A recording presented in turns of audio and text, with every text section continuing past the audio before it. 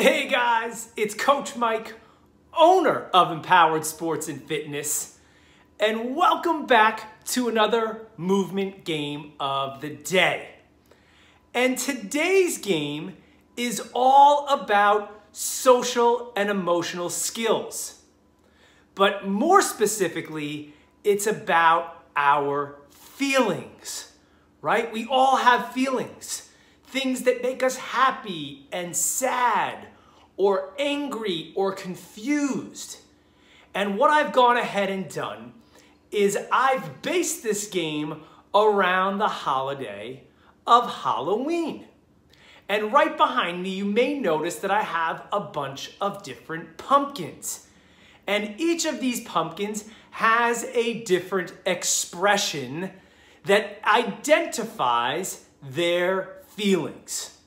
So for you at home, this is a fun do-it-yourself game that you can play with your athlete.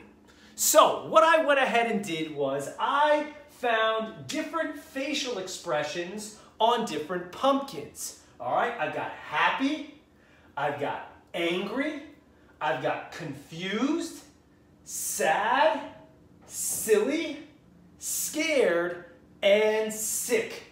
Again, many of these feelings we can all identify with. Now, what you're going to want to do at home is have your athlete step up to the board and ask your athlete, can you point to the pumpkin that looks happy? And then see if your athlete can point to the happy pumpkin. Can you point to the pumpkin that looks sick doesn't feel very well. Well, we've got our sick pumpkin right here. What about our scared pumpkin? Which pumpkin looks terrified? Like this? Well, we've got our scared pumpkin right there. What about our angry pumpkin? Can you find the angry pumpkin? Well, right here, we got our angry pumpkin. And what about our sad pumpkin? Where's our sad pumpkin? There's our sad pumpkin. And what about our silly pumpkin? Where's our silly pumpkin? Right here. And finally, where is our confused pumpkin?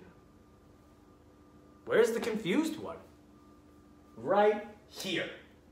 So, this is an awesome game to work on identifying feelings, facial expressions, all through some of our favorite holidays, like Halloween, for example.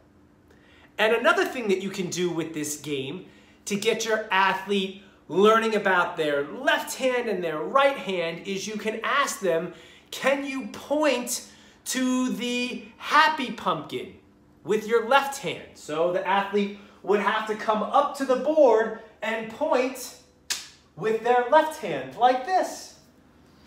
And another little aspect that you can add to this game is having the athlete cross the midline by having to reach and touch the pumpkin that is diagonal from them.